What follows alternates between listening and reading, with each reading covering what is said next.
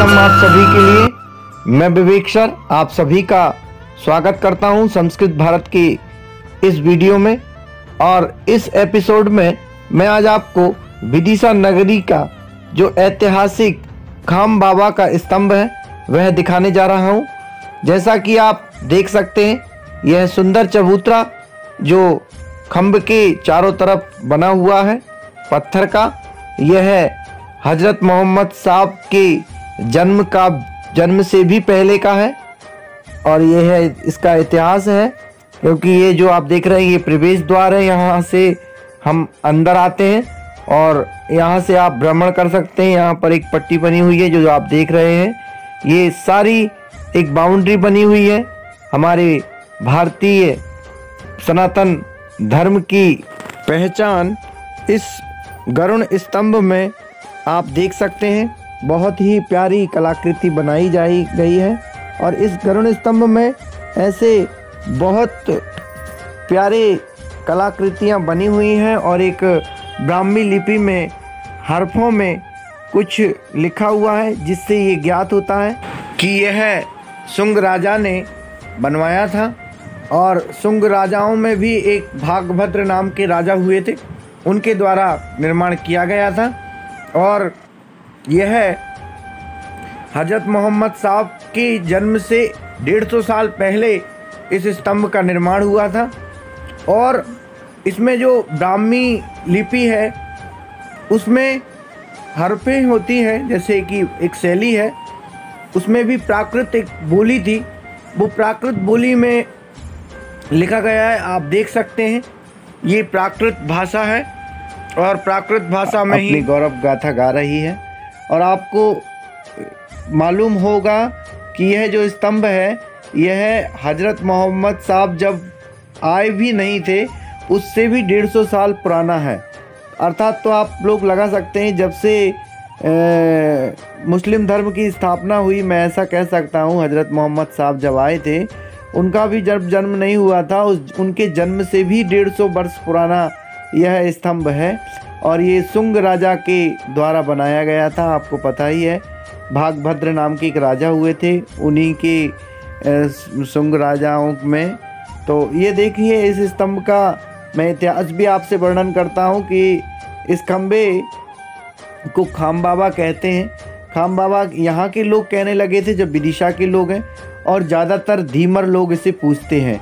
ऐसा उस समय इसलिए लिखा गया था दीमर लोग क्योंकि ये नदी के किनारे पर यह स्तंभ बना हुआ है। तो वहाँ पर नदी के किनारे जो मछुआरे रहते थे, उन्हें हम दीमर लोग कहते थे। उन्हें हम दीमर कहते थे।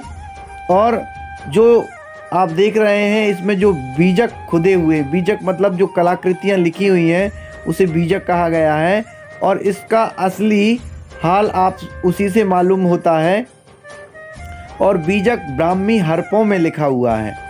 आप कहेंगे ब्राह्मी हरफी मतलब मैंने आपको बताया कि ब्राह्मी एक लिपि है, जैसे संस्कृत एक भाषा है, उसी तरह ब्राह्मी एक लिपि है, और उसकी लिखने की जो शैली है वो हरफें कहलाती है, जैसे हिंदी में वर्ण होते हैं, ऐसे हरफों होती हैं। तो हरफों में है उन, और उनकी जो बोली है, वह प्राकृत है, आप, जैसा कि मैंने आपको बताया अभी। और एक बीजक से मालूम होता है कि यह खम्बा गरुण ध्वज है, जो उस प्राकृत भाषा को पढ़ने में समर्थ हैं। उन्हें ये इस बात को मालूम है। उनने पढ़ के इसका ट्रांसलेशन किया तो उससे मालूम चला कि यह गरुण ध्वज है जिसको भगवान विष्णु के मंदिर के सामने हेलियोदर ने खड़ा किया था। और हेलियोदर, आपको बता दूँ कि तक्षशिला का रहने वाला था। वह एक ग्रीक था, ग्रीक देश से आया था। वह पंजाब के आंटी लिखित नाम के ग्रीक राजा की तरफ़ से मध्य देश में भागभद्र राजा के पास वकील था और उसने भागवत अर्थात वैष्णव धर्म को स्वीकार कर लिया था और यहाँ आकर यह खंबा 2000 साल से भी ज़्यादा पुराना है, अर्थात हज़रत ईसा पूर्व से 150 साल पहले बना था। और इतिहास नीचे दबा हुआ है इसके। और मैं आपको बताना चाहता हूँ कि यह हमारी भारतीय परंपरा में, वैष्णव धर्म में सबसे प्राचीन स्तंभ है। इस तरह की और भी कलाकृतियाँ हमारे विदिशा के आसपास देखने को मिलती हैं।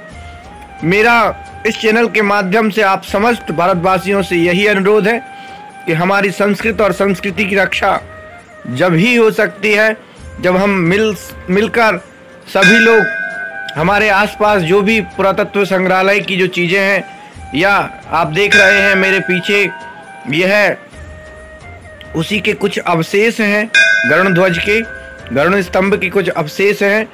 आप देख रहे हैं, यह है एक इमली का पेड़ है, और यह बहुत प्राचीन पेड़ है, और यह शिवलिंग आदि शिव इन्हें कहते हैं। भगवान शिव का मंदिर भी यहाँ पर बहुत पुराना है। और ये शिवलिंग भी बहुत पुराना है, प्राचीन है।